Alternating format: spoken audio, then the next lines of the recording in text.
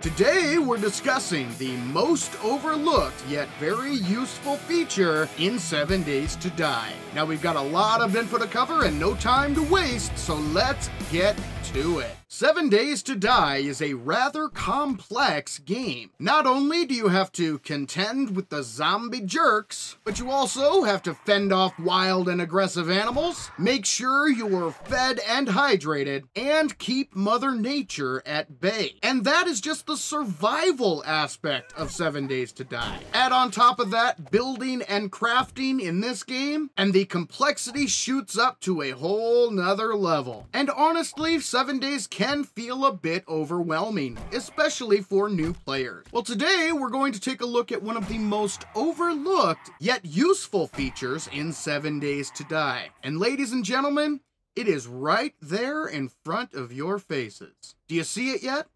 Don't worry, I'll give you a second. That's right, I'm talking about the journal. This little pin icon right here that flashes yellow whenever you have new information available opens up one of the most useful menus in 7 Days to Die. And it is very often overlooked by new players and experienced players alike. I've got to be honest with you folks, I have thousands of hours in 7 Days to Die, and even I overlook the journal menu. I've spent hundreds of hours in this world alone and as you can see, my pen icon is flashing yellow, meaning there's new topics available that I have yet to open up and take a look at. And this menu contains a whole bunch of very useful topics. The journal menu gives you basic info on things like survival and first aid, as well as some more advanced information on things like the chemistry station, the wire tool, which you need for electricity, as well as cameras, which are more of a late game item. Now, the journal menu is similar to the load screen tips that you see while your playthrough is loading. However, the benefit of the journal menu is that it can be accessed